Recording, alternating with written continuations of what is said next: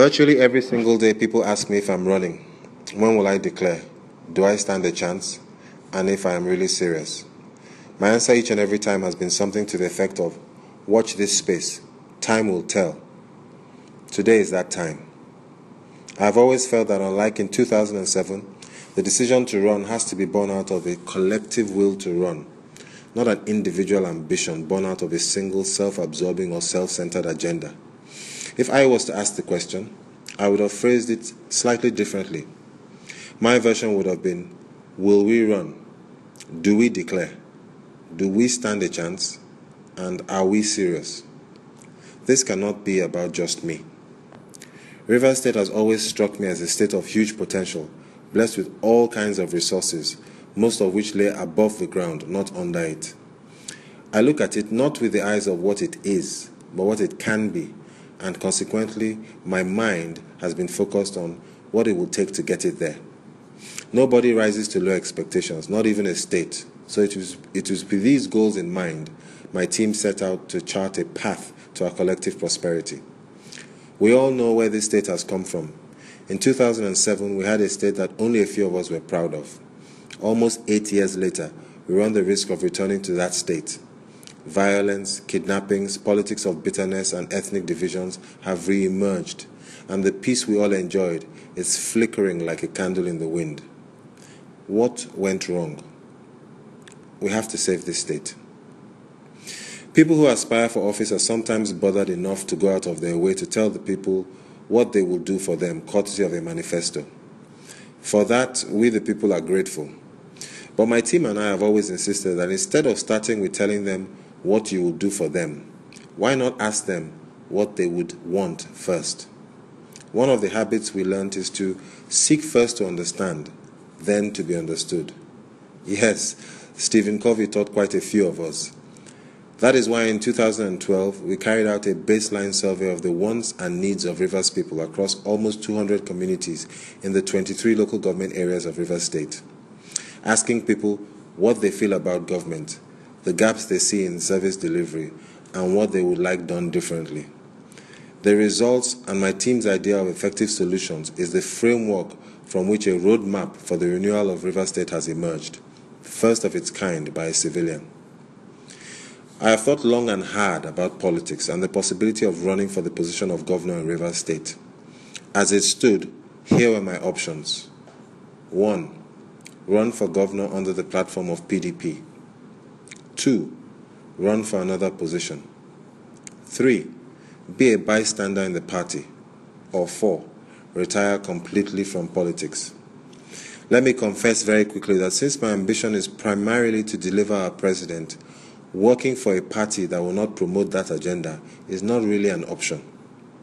Even if by some miracle of omission APC offered me the ticket on a platter of gold, I would not take it. In addition, being an observer in this climate reminds me of the phrase that a spectator is either a coward or ignorant. I'd like to think that I am neither. That leaves me only two options running for governor or retiring from politics and facing my businesses. I have thought long and hard over these two options. Even though I have worked for the men and women of the state and beyond in my own little way, the inability to satisfy a huge number of them, even when my own prosperity is put at risk, has left me feeling that I'm probably better off facing me and my family's troubles, attending to my aged father, my disabled son, my beautiful wife, and my other lovely children. If I don't take care of me and mine, will anybody else bother? That is why the decision to quit politics is attractive. That is why I'm tempted to hang up my boots leave the field of play, and take a back seat to help support and usher in a new style of leadership. But where is this new style of leadership? We have looked long and hard at the contenders for the office. Who will lay the foundations of a new Dubai in the Niger Delta? Who will bring peace where there has been war and has a track record to prove it? Who will create thousands and thousands of jobs, close ranks across party and community lines, build bridges across ethnic divides, and give Rivers people a reason to smile again?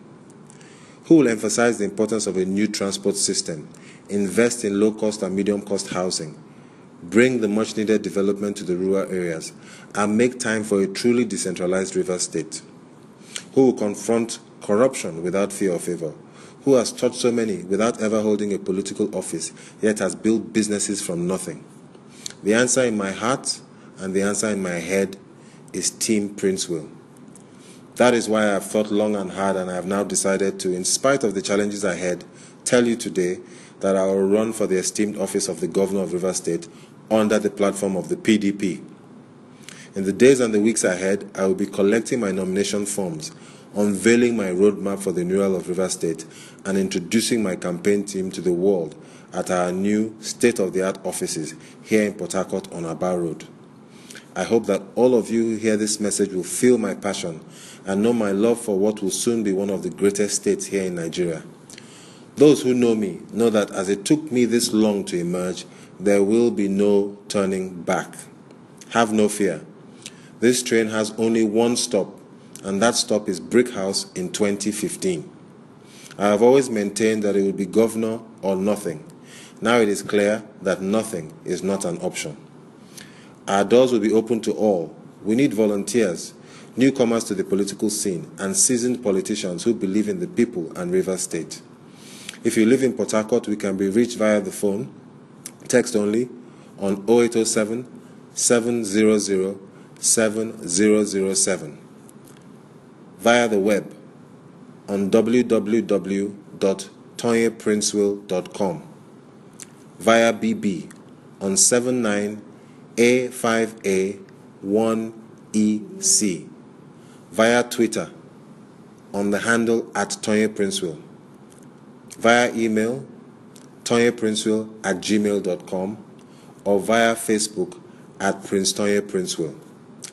This is the winning team, and even if you don't come from River State or live in River State, you can help us achieve what I believe will be a collective victory. Every little helps. Register online at our website and choose a category to volunteer in. We need so much help. I have not accumulated the wealth others have. I have no state or federal appointment, but I've been working with the people non-stop even when there were no elections, and I don't have a godfather other than God the Father. I may be younger than most, but my team and I guarantee you that winning will send a message, very strong one, that good men can win too. Today it is me, but thanks to my youth agenda tomorrow, it may be you or even your children. Politics is too important to leave to politicians. Let's join hands together to make this work. You know we can. Thank you. God bless River State.